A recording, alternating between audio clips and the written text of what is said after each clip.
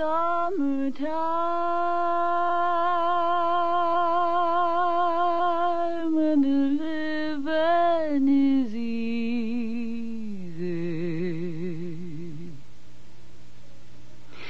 Fish are jumping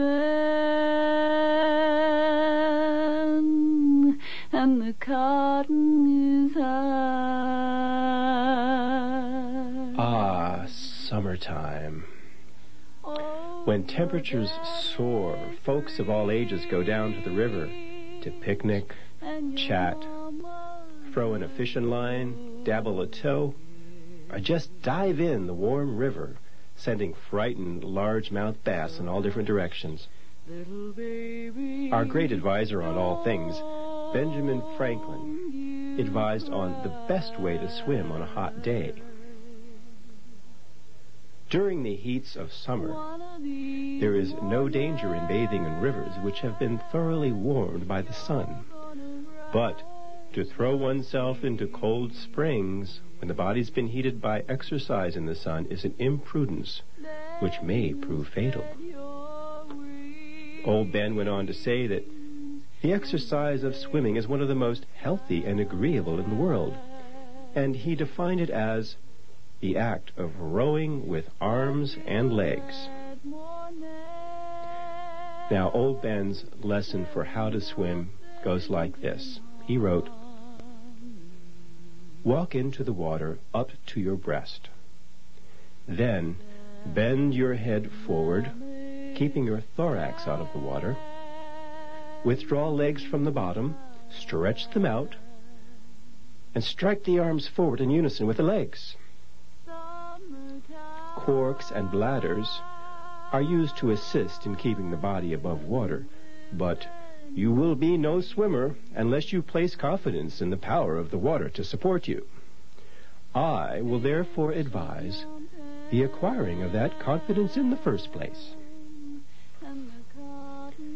As a boy, Ben Franklin had a momentous moment on a hot summer's day on a river. Oh, Ben Franklin recalled a great moment when he was only five years old at how to swim in the most pleasurable way. He wrote, Being desirous of amusing myself with my kite and enjoying at the same time the pleasure of swimming, I returned to the shore and loosening from a stake the string with the little stick that was fastened to my kite, I went again into the water, when I found that lying on my back and holding the string in my hands, I was drawn along the surface of the water by my kite in a very agreeable manner. It's four or five in the afternoon along the Potomac or the Shenandoah in July.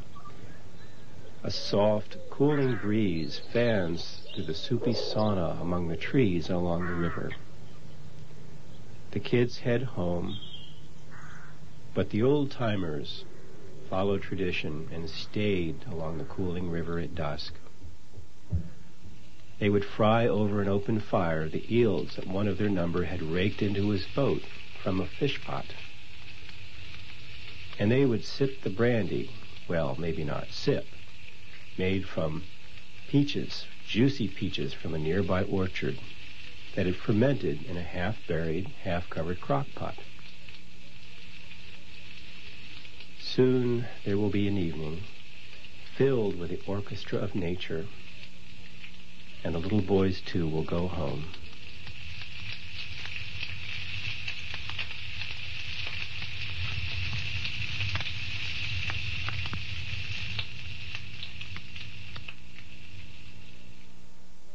Okay.